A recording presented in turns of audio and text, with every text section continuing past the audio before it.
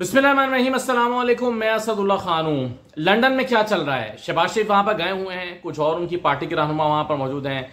कुछ जो मकामी रहनुमा हैं, वो मौजूद होते हैं। कल एक लंबी चौड़ी मीटिंग हुई है। नवाज़ शबाज शरीफ साहब जो हैं, वो मीडिया के सामने भी आए हैं। आकर उन्होंने अक्टूबर की तारीख भी दी है। नवाज़ शरीफ साहब उनके साथ भी खड़े थे। कुछ फुटेज भी हमारे सामने आई है कि जिसमें कमरे के अंदर कुछ लोग बैठे हुए हैं, नवाज़ शिफ साहब बैठे हैं, शबाज शरीफ बैठे हैं, शबाज शरीफ साहब उन सबसे बातचीत कर रहे हैं, उसकी ऑडियो अगरचे नहीं है, यानी ऑडियो काट के उस वीडियो जारी की गई है, और उसमें काफ़ी सारे लोग उस दफ्तर में, हुसैन नवाज़ साहब का दफ्तर है, उसमें ये मौजूद हैं, और वहाँ पर जो है वो गपशप हो रही है। ज़रा मैंने अपने कुछ वहाँ पर सोर्सेज को एक्टिव किया कि क्या चल रहा है क्या लंदन में हो रहा है? तो बड़ी तीन चार इंपॉर्टेंट और मज़ेदार चीज़ें जो है वो निकली हैं। उस मुलाकात से भी कि उस मुलाकात में क्या कहा गया है और उसमें दो बड़ी अहम बातें हैं जो मैं आपके साथ रख, आपके सामने रखना चाहता हूँ आपके साथ शेयर करना चाहता हूँ। और उसी के नतीजे में फिर मेरे जहन में यह सवाल पैदा हुआ जो मैंने थंबनेल पे लिखा है कि क्या काजी फायजा साहब ने नवाज़ शरीफ को यकीन दहानी करा दी है कि आप आए सत्य खैर हैं कोई मसला नहीं है। क्यों सवाल ये पैदा हुआ? क्योंकि कल शबाज शरीफ साहब ने एक ऐसी बात की है। क्या कहा है शबाज शरीफ साहब ने? देखें, शबाज शरीफ कहते हैं, कल जब उनसे पूछा जा रहा था मुख्तफ सवाल हो रहे थे कि नवाज़ शरीफ साहब के ऊपर केसेस हैं, और नवाज़ शरीफ के जब अगर जाएँगे तो क्या होगा? क्या वो जेल जाएँगे? क्या उनके लिए केसेस का मसला हल हो जाएगा? तो ये सारे सवाल ढके छुपे अल्फाज में मुख्त तरीकों से हो रहे थे। तो शबाज शरीफ साहब ने अपने कारकुनों या अपने लीडर्स की इस बेचैनी को दूर करने के लिए इसका जवाब इन अल्फाज के साथ दिया।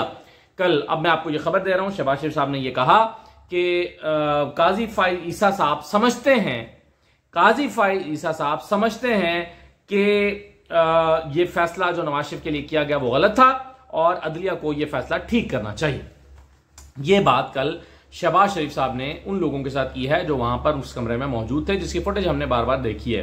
तो शबाज शरीफ साहब ने फरमाया कि काजी फाइज समझते हैं कि नवाज़ शरीफ का जो फैसला है वो गलत था और इसको ठीक होना चाहिए। इसका क्या मतलब है? उन्होंने ये नहीं कहा कि काजिफ फाइजा ने हमें यकीन दहानी कराई है। अलबत्ता उन्होंने कहा कि काजी फैसा समझते हैं। मगर काजी फैसा कैसे समझते हैं? क्या काजी फैसा ने इनको बताया है कि मैं ये समझता हूँ?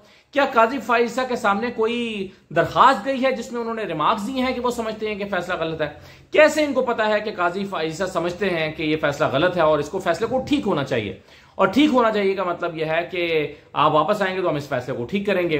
तो क्या, और फिर आपको इस कड़िया मिला के देखें, जावेद लतीफ साहब जो हैं वो कह चुके हैं कि उमर अता बंदयाल साहब के होते हुए हमें इंसाफ की तो नहीं है। और सितंबर के बाद नवाज़ शरीफ वापस आएँगे, यानी उमर अता बंदयाल के जाने के बाद वापस आएँगे। वो ये कह चुके हैं। और ज़ाहिर है वो जब ये कहते हैं तो नवाज़ शरीफ साहब से मिलकर आते हैं तो तभी ये बात करते हैं। जब वो मिलकर आते हैं तो आकर फिर वो वापसी की बात करते हैं। और मिलकर आए थे तो उन्होंने कहा था कि उमर ताबदयाल से तो तो नहीं है, इंसाफ की सितंबर के बाद वापस आएँगे। मतलब ये कि काजी फैसा के वापस आ जाने के बाद वापस आएँगे। तो क्या काजी फैसा साहब ने कोई यकीन दहानी कराई है? कोई पैगाम भेजा है? क्या इनका कोई रबता हुआ है? क्या उन्होंने कौन से यकीन दहानी हासिल की है? बाहर तो ऐसा मुमकिन नहीं है। अमल आ, आ, कानूनी तौर पर तो ऐसा नहीं हो सकता है कि जज से कोई प्राइवेट मिल रहा हो और जज उसको यकीन दहानियाँ करा रहा हो। लेकिन फिर शबाज शरीफ किस उम्मीद की बुनियाद पर और किस यकीन दहानी की बुनियाद पर ये कह रहे हैं? और क्यों इतना पुर यकीन है कि काजी फाइसा ये समझते हैं कि फैसला गलत हुआ था और ये फैसला ठीक होना चाहिए? तो बहरहाल एक छोटा सा क्लिप 16 सेकंड का जरा ये भी देख लीजिए जिसमें नवाज़ शरीफ साहब फरमा रहे हैं शहबाज शरीफ साहब फरमा रहे हैं कि मुझे भी क्लीन चिट मिल चुकी है नवाज़ शरीफ को भी क्लीन चिट मिल चुकी है और वो वापस आ रहे हैं। सुने जरा। मियाँ नवाज़ शरीफ साहब को भी क्लीन चिट मिली और अल्लाह ताला के फजल करम से इस नाचीज को भी क्लीन चिट मिली।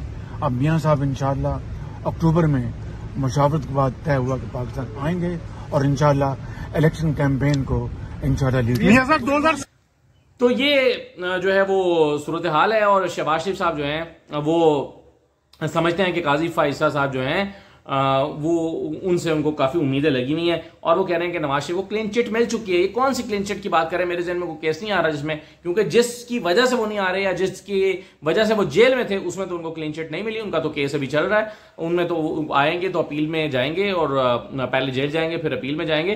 तो ये मसला जो है, वो तो अभी जू का तू है। तो शबाज शरीफ साहब क्यों इतना पुरुद है? कैसे इतना पुरुद है? और कैसे समझते हैं कि अक्टूबर में उन्हें वापस आना है? अच्छा ये भी बड़ी दिलचस्प बात है कि कल शबाज साहब ने पहले एक सहाफ़ी को जिनका ताल्लुक जियो से है, उनको कुछ टिकट्स खुद भेजे और खबर ब्रेक करवाई कि मैं क्या नवाज़ शरीफ अक्टूबर में वापस आ रहे हैं। पहले खबर वहाँ से ब्रेक हुई, फिर कुछ और सहाफ़ी जो है वो उसमें कूदे, फिर उन, उन्होंने ऊपर देखते हैं कि यार ये खबर किस चैनल पर ब्रेक हो रही है। फिर उस सहाफ़ी से रबता करते हैं, फिर कुछ और चैनल्स पर भी ये खबर चली। तो बहरहाल शबाज शरीफ साहब ने वो खुद टिकट्स भेजे थे जियो के रिपोर्टर को और वहाँ से ये खबर चली और फिर तीन घंटे, साढ़े तीन घंटे के बाद शबाज शरीफ बाहर आकर उन्होंने फिर यही बात की कि मिड अक्टूबर में नवाज़ शरीफ वापस आ रहे हैं। लेकिन नवाज़ शरीफ का मिड अक्टूबर में, मेरे ख्याल में मिड अक्टूबर में भी वापस आना अभी तय नहीं है। लेकिन बहरहाल शबाज शरीफ साहब ने ये खबर जो है, वो चलाई। एक सवाल और हुआ उनसे कि जी, सितंबर में क्यों नहीं आ रहे, अक्टूबर में क्यों आ रहे हैं? तो एक तो मैंने आपको बताया कि क्या जवाब दिया काजी फायसा साहब के हवाले से। दूसरा, एक और बड़ी दिलचस्प बात की है शबाज शरीफ साहब ने कल। ये कारकुनों को तासुर दिया कि देखें अक्टूबर में ज़रा मौसम भी अच्छा हो जाता है, सितंबर में ज़रा हब्स होता है। मतलब क्या है? मतलब यह कि जब नवाज़ शरीफ के इस्तेमाल के लिए रैलियाँ निकालनी है, कारकुनों ने निकलना है तो हब्स के मौसम में हब्सदा मौसम में ज़रा लोगों को इकट्ठा करना मुश्किल होता है। अक्टूबर में मौसम बड़ा शानदार हो जाएगा, मौसम ज़रा प्लेजेंट हो जाएगा तो अक्टूबर में नवाज़ शरीफ के इस्तेबाल की तैयारियाँ करने में आसान होगा। यानी आप ये सोचें कि एक लीडर जो चार, पाँच साल या चार साल जिला वतनी खत्म करके वापस आ रहा है और जिसके आने से एक इनकलाब भी बर्पा होना है उनके मुताबिक और उनको लगता है कि जब वो वापस आएँगे तो सब कुछ बदल जाएगा। तो ऐसी सूरत में वो मौसम से डर रहे हैं। यानी यहाँ तो आंधी, तूफ़ान, सख्त सर्दी, गर्मी है तो कारकुनों को अपनी जान निछावर कर देनी चाहिए थी उनके ऊपर और वो डर रहे हैं कि नहीं सितंबर में लोगों को निकालना जरा मुश्किल होगा अक्टूबर में निकालेंगे। भाई सितंबर हो या अक्टूबर हो नवाज़ शरीफ साहब का इस्तेकबाल हो या ना हो कम हो या ज़्यादा हो नवाज़ शरीफ साहब इस वक्त मौजूदा हालात ऐसे हैं कि कोई पोलिटिकली इम्पैक्ट क्रिएट नहीं कर सकते। अगर कोई फ़र्क डाल सकते हैं तो एक दो फ़ीसद से ज़्यादा डाल, नहीं डाल सकते। शहबाज शरीफ और नवाज़ शरीफ शिवानी नवाज़ शरीफ की गैर मौजूदगी और उनकी मौजूदगी में सिर्फ़ दो फ़ीसद का फ़र्क पड़ सकता है ज़्यादा से ज़्यादा। और वो इलेक्टोरल रिज़ल्ट को तब्दील नहीं कर सकता। इस वक्त जो हालात हैं जरा देखें क्या हो रहा है। बिजली के बिल लोग जला रहे हैं। एक, एक तरह की सिविल नाफरमानी होती है जब बिजली का बिल जला दिया जाता है। लोगों ने बिल देने से इनकार कर दिया है और लोग गालियाँ दे रहे हैं उन तमाम लोगों को जिनकी वजह जिनकी पॉलिसीज़ की वजह से ये सब हुआ है। और नवाज़ और शबाज शरीफ साहब की हुकूमत जो है उसको बरह रास्त इसका मुर्दा इल्ज़ाम मुर्दा इल्ज़ाम ठहरा रहे हैं। और ऐसे में नवाज़ शरीफ अगर वापस आते हैं तो आपके ख्याल में क्या लोगों को बिजली के बिल अदा करने की सख्त बढ़ जाएगी? क्या लोग बिजली के बिल देने लगेंगे? क्या वो पच्चीस हज़ार रुपये अचानक उनकी जेब में आ गिरेगा जिसके नतीजे में लोग जो है वो वो बड़ा उनका वेलकम करके उनको खुश आमदीद कहेंगे और कहेंगे, अब हमारा मसला हल हो गया है, अब हम बिजली का बिल अदा कर सकते हैं। तो ये सारे जो मामला हैं, ये इतने सादा और आसान नहीं है।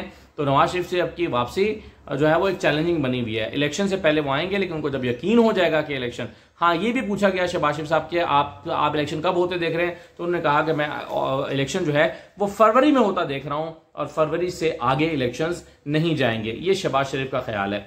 और आज आपने देखा कि नून लीग ने जो है वो, नून लीग सारी गेम में हिस्सेदार है। नून लीग समझती है कि नब्बे दिन में इलेक्शन ना हो, उनके फ़ायदे की बात है। और ये मैं आपको पहले भी कई मरतबा बताता रहता हूँ। और अब आज वो पीपल्स पार्टी को मुर्दे इल्ज़ाम ठहरा रहे हैं और वो कह रहे हैं, सियासत कर रहे हैं। आज एहसन इकबाल साहब ने कहा है कि पीपल्स पार्टी ने सीसीआई मीटिंग में ऐसी कोई बात नहीं की थी कि इलेक्शन नब्बे दिन में होने चाहिए और अब आकर ये सियासत कर रहे हैं। तो एहसन इकबाल साहब का ये जो स्टेटमेंट है, ये भी बड़ा मानी खेज और बड़ा इंपॉर्टेंट है और वो बता रहे हैं कि जी, हम पे सारा गंद ना डालो, तुम इस गंद में हिस्सेदार हो, शामिल हो और आज बहुत अच्छे बनने की कोशिश कर रहे हो तो इतने अच्छे ना बनो। ऐसे इकबाल साहब ने पीपल्स पार्टी को ये बताया अच्छा कल एक और खबर भी आई है कि गार्ड्स के साथ लड़ाई हो गई। गार्ड के साथ जो है वो दो सहाफ़ी जो है, उनकी लड़ाई हो गई और गार्ड्स ने गालियाँ दी सहाफ़ियों को। तो ये एक असद अली मलिक साहब हैं 44 के चैनल 44 के और एक नवीद चौधरी साहब हैं, समा के। तो इनके साथ जो है वो बुनियादी तौर पर गार्ड्स की तल कलामी हुई। क्योंकि जब नवाज़ शरीफ जाना होता है तो उनको हटो बच्चों की सदाएँ लगाते हैं कि हट जाएँ हट जाएँ हट जाएँ, वो आ रहे हैं। और साफ़ ये कहते हैं कि जी आप हमारे साथ जरा तमीज से पेश आए, बदतमीजी ना करें। तो ऐसे में यही इसी बात पर तू तकरार हो गई। लेकिन इसमें खबर यह है कि साहब, कुछ साहबियों ने यह फैसला किया कि हम नवाज़ शरीफ से इस बात की शिकायत करेंगे। लेकिन जो नून लीग के हामी या प्रो नवाज़ शरीफ जर्नलिस्ट है वहाँ पर और वो ग्रुप काफ़ी बड़ा है उन्होंने मामले को ठप कर दिया। उन्होंने कहा, नहीं नहीं नहीं नहीं छोड़ो छोड़ो छोड़ो। कोई ज़रूरत नहीं है नवाज़ शरीफ से बात करने की। छोड़ो यार, हो जाता है इग्नोर करो, नजरअंदाज करो। तो ये मामला उन सहाफियों की वजह से जो प्रो नवाज़ शरीफ या नवाज़ शरीफ के काफ़ी करीबी समझाते हैं, उन्होंने ये मामला ठप करा दिया। और लेकिन ये कि तल कलामी और लड़ाई झगड़ा जो है, ये इस हद तक बढ़ा था कि इसमें गाली गलोच हुई थी। और एक दूसरे पर कोई गालियाँ बरसाई गई थी। और नवाज़ शरीफ के जो गार्ड्स हैं, जो गैर मुल्की हैं उनकी तरफ़ से ये हुआ था। आखिरी बात मैं आपको बता दूँ, ये स्टोरी मैंने दो तीन दफ़ा सोचा करूँ, ना करूँ शेयर करूँ, आपके साथ ना करूँ। लेकिन बहरहाल शेयर मैं कर देता हूँ क्योंकि आप सियासतदानों का उनके बकौल ही कुछ भी प्राइवेट नहीं होता। और, जब इमरान खान की पर्सनल लाइफ के ऊपर अटैक किया जाता है और यहाँ तक के मुकदमात किए जाते हैं तो यही दलील दी जाती है कि पर्सनल नहीं होता कुछ भी जो है वो एक सियासतदान का। तभी तो टेरियन वाइट वाला केस जो है वहाँ गया था। एक नौजवान है, नवाज़ शरीफ साहब से के पास अक्सर आते हैं और नवाज़ शरीफ साहब उनके साथ अकेले कहीं पर जाते हैं। अच्छा ये जो नौजवान है, ये कल भी जब इसने मिलने के लिए आना था तो उससे पहले मीडिया बाहर खड़ा था और सारे लोग जो हैं वो अंदर से कोई आया और अंदर से आकर जो सारे लोग बाहर खड़े थे, उनसे आकर कहा कि आप से दरखास्त है कि एक मेहमान आ रहे हैं नवाज़ शरीफ से मिलने और वो मेहमान चाहते हैं कि उनकी वीडियो ना बनाई जाए। तो आपसे दरखास्त है कि आप कैमरे बंद कर दें और वीडियो ना बनाएँ। थोड़ी देर के बाद एक गाड़ी आकर रुकी, जिसको एक जो है वो गोरा ड्राइव कर रहा था और उसमें एक नौजवान था। नौजवान बिल्कुल जुनेद सफदर की का, की शक्ल या हुलिये या कदकाठ का बताया जाता है। वैसे स्लिम स्मार्ट है, खूबसूरत है और उसी तरह का कदकाठ का है और तकरीबन उतनी ही उम्र है उसकी। और ये जो नौजवान है, ये आया और नवाज़ शरीफ साहब उतरे और इसके साथ गाड़ी में बैठ के, यानी नौजवान पीछे बैठा नवाज़ शरीफ आगे बैठे और ये उसके साथ बैठकर चले गए। अब बताया यह गया है कि नवाज़ शरीफ साहब अक्सर इस नौजवान के साथ जाते हैं और अकेले जाते हैं, किसी और के साथ नहीं जाते। और कोशिश होती है उनकी कि ऐसे वक्त में जाएँ जब मीडिया मौजूद ना हो। और अगर मीडिया मौजूद हो भी तो उनसे दरखास्त कर दी जाए कि इसकी वीडियो ना बनाई जाए। अब ये नौजवान कौन है? क्यों इसके साथ अकेले जाते हैं? और इसके बारे में क्या है? ये तो मुझे नहीं पता। लेकिन मैं दो तीन चीज़ों को मिलाकर देखने की कोशिश करता हूँ तो कुछ सवाल पैदा होते हैं।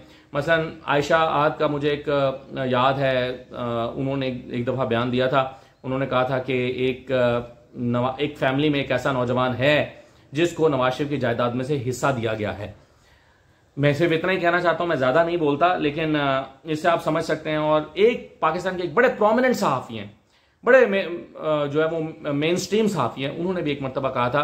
उन्होंने कहा कि तुम तुम इमरान खान की जो है वो बेटी टेरियान वाइट की बड़ी बात करते हो तो पंजाब का भी एक बड़ा अहम सियासतदान है उसकी भी कोई औलाद है उसकी बात क्यों नहीं करते? तो मैं मेरे पास मैं कोई दावा नहीं करता मैंने तो दो दावे आपके सामने रखे हैं और एक सवाल उठाया है कि ये नौजवान बहरहाल कौन है?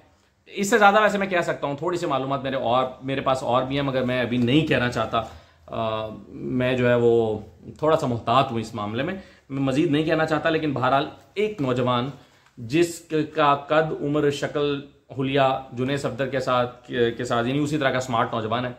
उसके साथ नवाज़ शरीफ साहब अक्सर बैठ के कहीं अकेले जाया करते हैं और उसके साथ टाइम गुजारते हैं। ये नौजवान कौन है? ये बहरहाल एक फैक्ट है कि उसके साथ वो जाते हैं। तो इतना तो एक फैक्ट है। इजाज़त दीजिए, अल्लाह हाफिज़।